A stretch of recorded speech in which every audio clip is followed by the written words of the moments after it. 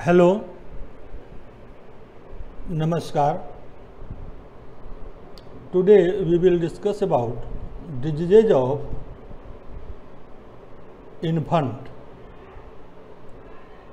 जन्म के बाद बच्चों में क्या क्या समस्याएं होती हैं कौन कौन सी बीमारियां होती हैं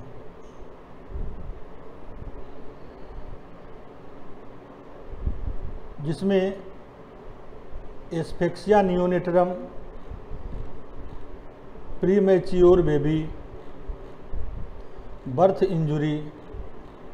ophthalmia neonatorum jaundice neonatorum और इक्टेरस न्योनेटरम ये जनरली पांच बीमारियां पाई जाती है जो बीएचएमएस सिलेबस में भी है और जनरल प्रैक्टिस में भी देखी जाती है इसके अलावे और भी बीमारी हो सकती है जैसे indigestion of milk epileptic attack continuous crying बच्चा हमेशा रोते रहता है सो so, सबसे पहले हम देखते हैं एस्फेक्सिया नियोनेटोरम नियोनेटोरम नवजात शिशु में सांस लेने में गड़बड़ी कमी या नहीं होना इसका कारण क्या है इस्टेब्लिशमेंट ऑफ वेंटिलेशन और एस्पिरेशन इसका डिफिनीसन इस प्रकार हम कह सकते हैं establishment of pulmonary failure of establishment to pulmonary ventilation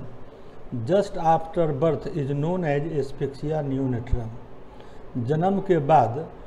अगर पल्मोनरी वेंटिलेशन सांस लेने की प्रक्रिया अगर शुरुआत नहीं होती है या कोई बाधा होती है ऑब्स्ट्रक्शन होता है उसे हम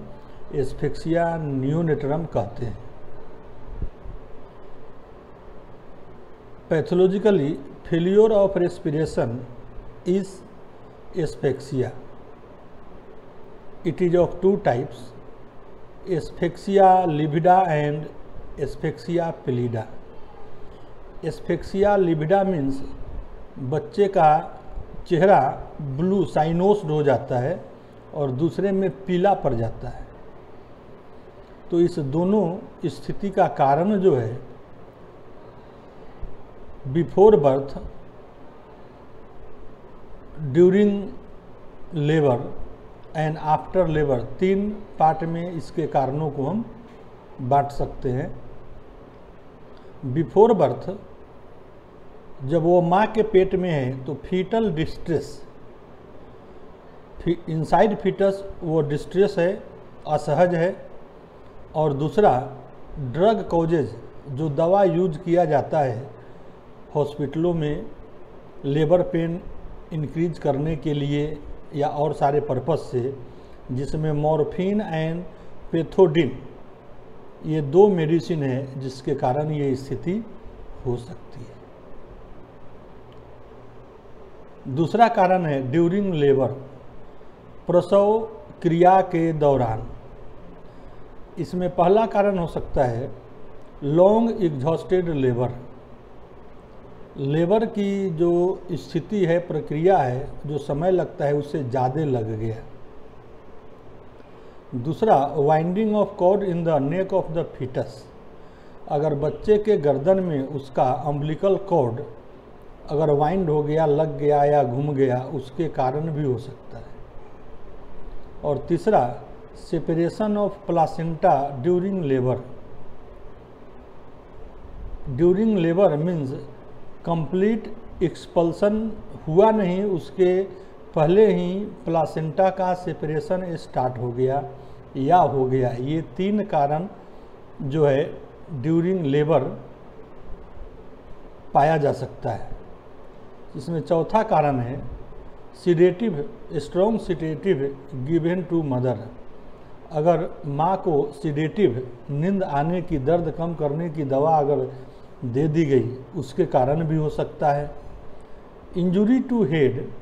बच्चे के हेड में injury at the junction of falx cerebri and tentorium cerebelli ये दोनों जगहों पर इंजुरी के कारण हो सकता है respiratory tract block by blockage by sucking the amniotic fluid and mucus by the baby अगर बच्चा कि रेस्पिरेटरी ट्रैक्ट में इम्यूनियोटिक फ्लूड अगर चला गया है उसके कारण भी हो सकता है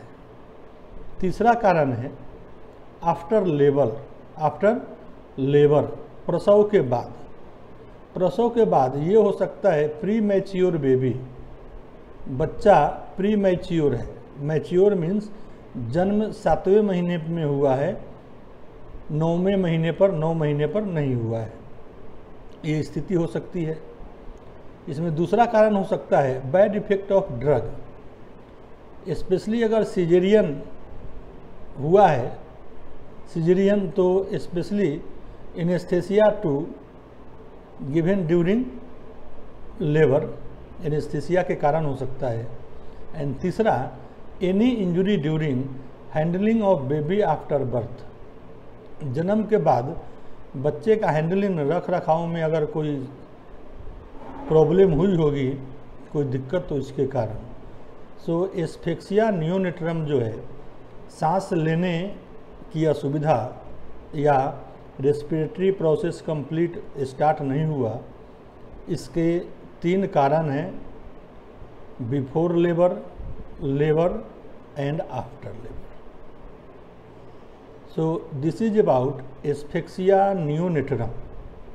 ये समस्या हॉस्पिटलों में समस्या समस्या हमेशा देखी जाती है जो लेबर को कंडक्ट कराते हैं तो जो लेबर को कंडक्ट कराते हैं उन्हें इस एस्पेक्ट में कंसस होना चाहिए कि ऐसी स्थिति न हो और अगर ऐसी स्थिति है तो इमीडिएट हम कैसे हैंडल करें नहीं तो मृत्यु की संभावना ज़्यादा होती है इसलिए जो अटेंडिंग अटेंडिंग डॉक्टर या नर्स हैं जो स्टाफ हैं हॉस्पिटल के उनको इस स्थिति में कंसस रहना चाहिए कारण कि अगर रेस्पिरेशन का एस्टेब्लिशमेंट नहीं होता है तो डेथ निश्चित है